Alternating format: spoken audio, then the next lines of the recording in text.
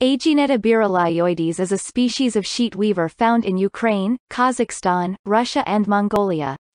It was described by Wunderlich in 2005.